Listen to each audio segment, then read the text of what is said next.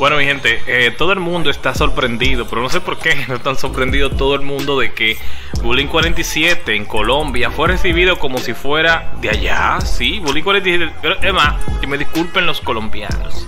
Me disculpe J Balvin, Maluma, Karol G, pero yo creo que alguien me consiga videos donde a uno de esos artistas lo hayan recibido con esa caravana. Oye, que los bomberos tuvieron que ayudar a Bullying 47 para poder llegar a la tarima donde se iba a presentar, mi gente. Eso fue una cosa inmensa, mi gente.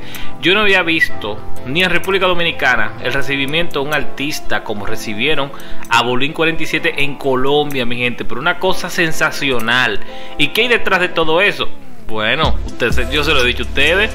El dembow, mi gente, el dembow dominicano totalmente internacionalizado.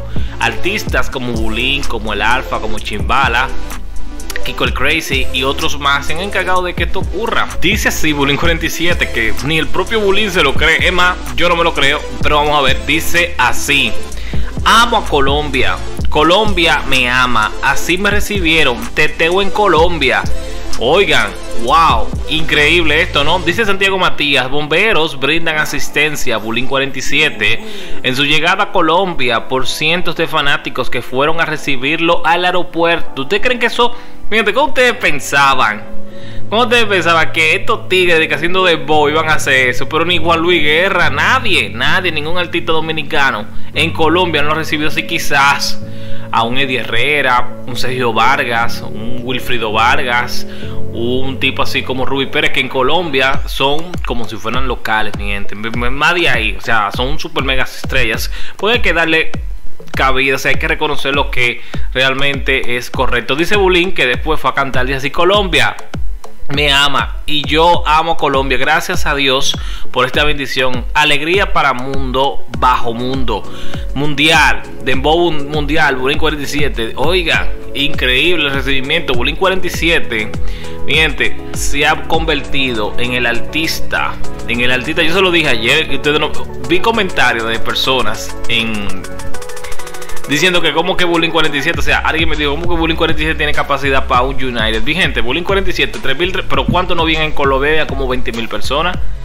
Y toda la gente que siguió a, a, Bullying 47. Y si ustedes están viendo eso en Colombia, no quieren ustedes ver los colombianos en Nueva York dan todo lo que sea por un Bullying 47 en Nueva York. Es que ellos están viendo eso de que ese artista lo recibieron en su país con esa algarabía y con eso, mi gente. Le iba a comentar de algo también acerca de Nino Freestyle. Nino Freestyle, mi gente, filmó un contrato de distribución con Universal Music Latino, mi gente. De la mano de quién? De Boy Wonder y Chosen Few. ¿Quién es Boy Wonder? Boy Wonder es uno de los mejores managers del mundo del reggaetón y de la música urbana en general. Es el dueño, el creador de John Z. John Z, ¿te acuerdan John Z? Viejo sin ver. Ese mismo, ese mismo, el pelo ese mismo Nino Freestyle se convierte en uno de los artistas dentro del catálogo de distribución que va a tener Universal Music Latino, mi gente. Una cosa increíble esto, ¿verdad? Nunca se había visto eh, un artista dominicano filmando. Bueno, no sé. Ustedes me pueden confirmar, pero creo que Toquilla también tiene algo relacionado con Universal. Miente, esto es el futuro. Se lo he dicho varias veces. Se lo he dicho al Alfa, Secreto, al Mayor, Bulín 47, todo el mundo, todos los artistas dominicanos tienen que hacer de poquito, poquito, poquito, poquito, tienen que ir tienen que ir firmando sus acuerdos de distribución con las grandes multinacionales. ¿Por qué? Porque las multinacionales son, mi gente, lo que te van a permitir a ti a que tu música llegue más lejos. Porque imaginen ustedes el, el tema que tú lanzaste que mandándoselo a, a, todo tu contacto de WhatsApp no es que va a llegar a millones, mi gente, para llegar a millones, aparte de que tú tienes que tener un público sólido como el que tiene el Alfa, como que tiene Roche, como que tiene estos tigres, también tú tienes que tener, dentro de todo eso, tú tienes que tener eh, unas personas, una disquera, ¿verdad? Que te coloque, que coloque tu música en todos los lados. Eso es lo que estaban hablando del Alfa. Que le dije que el Alfa sin tener que grabar con Carol G, con Bad Bunny, con toda esa gente que se la pone difícil a, estos muchachos, ¿verdad? Sin tener que hacer eso. El señor Alfa grabando con los Instagramers, con los TikTokers duros de Latinoamérica. Mi gente, lo está logrando. Pero ¿qué es lo que pasa? Que para que eso llegue más lejos tiene que haber distribución. Y la distribución se consigue a través de una firma con una disquera, mi gente. Con una disquera, no. Porque que el dominicano todavía por los casos que han ocurrido, eh, cositas, ¿cómo que se llamaban estos tigres? Los blanquitos. Sí, los blanquitos. ¿Sabes los blanquitos?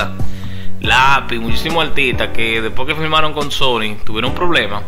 El problema realmente es que ellos firmaron a nivel creativo, pero si tú firmas a nivel de distribución, tu creatividad, tus lanzamientos, toda esa vaina, tú eres el dueño de eso.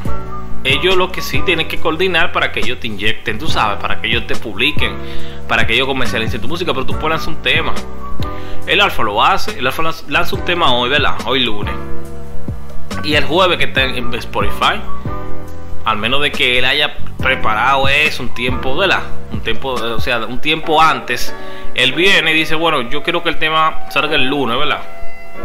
Salga el lunes, ¿verdad? Y puede ser que él la publique en Spotify y lo, y lo, y lo ponga público. Pero si tú, por ejemplo, que grabaste un video el jueves, el viernes, y la canción y toda la vaina, tú tienes que esperar hasta el jueves. Pero si ya tú mejor dices, bueno, yo la quiero lanzar mejor el lunes, porque los jueves hay demasiado lanzamiento, los, jueves, los, los jueves y los viernes hay demasiado lanzamiento. Y hay muchos artistas que están tomando, la están tomando la decisión de lanzar sus temas los lunes, los martes. Pero realmente, si tú quieres ser un organizado, lánzalo un jueves. Porque el jueves es el día que todo el mundo está esperando. Y las playlists eh, que son fijas de, de, Spotify se actualizan los jueves. Así que felicidades a Nino, a Boy Wonder, a Chosen Few, felicidades a Bullying 47, que en Colombia, bueno, mi gente, bueno, mira, yo no, ni sé qué decir, lo de Bullying 47 es una fiebre. Es una fiebre, así que ya saben, suscríbanse al canal y nos vemos en la próxima. Ajustate candita que vamos a prender botón ahora. Ahí están los niños, el alfa. O sea, yo lo único que veo ahí es un pana que le está regalando unos tenis a otro pana y que le mandó uno, o sea, tiró unos tenis. O sea, yo no veo no veo malo. O sea, si alguien aquí en la caja de comentarios están, eh, qué sé yo, rebusca pleito, que es capaz de identificar el problema, yo le voy a pagar, le voy a pagar lo que no tengo, 20 millones de dólares que no tengo, para que me diga cuál es el problema de ese video, que el Alfa le está regalando uno tenis a un, a un pana, cuál es el problema, y no es que Kiko no se lo pueda comprar. Bueno, realmente no sé si Kiko se lo pueda comprar, pero realmente yo lo único que puedo decir es que cualquiera que le quieran regalar unos tenis de esos calibres, porque son unos tenis que valen unos cuartos, vale, vale para comprar un sonata, por, lo menos. Usted tiene un sonata en los pies ahí y regalado. Usted lo va a dejar de que no, no, eso no es nada. Ojalá a mí que me iba regalando así para yo, para yo serme rico. Miente, una situación que pasa con el alfa también es que los medios de comunicación de República Dominicana, no todos, no todos, ni todos los periodistas, han estado faltando el respeto al alfa diciendo que esto fue una falta de respeto, que eso no merece, ¿verdad? Eso es algo que está de boca en boca, pero hay algunos medios, algunos artistas que se han puesto, se han puesto la, la, faja Han querido pelear por el alfa. Y dice así, me gusta mucho lo que le dijo un artista que se llama Watson Brazovan que no me cae muy bien el tipo, pero el tipo es muy certero. Dice así Watson, ustedes han visto periodistas dominicanos haciéndose eco de mis giras a Estados Unidos y Europa por clubes, discos y teatros? Pues no. Entonces no le hagan caso a la prensa que solo viven buscando un punto malo para criticar. Lo del ARFA es un éxito, grande lo quieras aceptar o no. Fin del tema, el poeta del pueblo. O sea, Miren, aquí lo primero que empezaron a decir fue que el Alfa puso la bandera en modo guerra. O sea, puso la bandera al revés. O sea, al revés. Eso fue lo primero con lo que empezaron a joder. Después con lo del Cherry. Ya, ok, el Cherry cogieron con lo del Cherry. Entonces ahora cogieron y dije que no, que ese concierto se llenó porque J Balvin estaba ahí, que esto y lo otro. Pero J Balvin no, estaba, no fue ayer. Aparte, la presencia de J Balvin fue prácticamente nula. Porque muchas personas no sabían que J Balvin había ido. Y el Alfa no anunció, el Alfa nada más anunció al Cherry y a Fernando Villalón y ya. A esos dos artistas que no, no, que, no, no son artistas, o sea, son, una leyenda el caso de Fernando. Y el Cherry es un artista en su momento. Pero no son de que no es Ozuna, ni Bad Bunny, ni Farruko. Él no anunció nadie de eso. y en Boston igual también quemó. O sea que yo no entiendo cuál es el problema aquí. El Cherry habló, porque sabe muy bien que el Cherry ha sido un artista que ha sido demasiado humillado por mucha gente. Dice sí, muchas gracias Luis Abinader por darnos su apoyo y su apoyo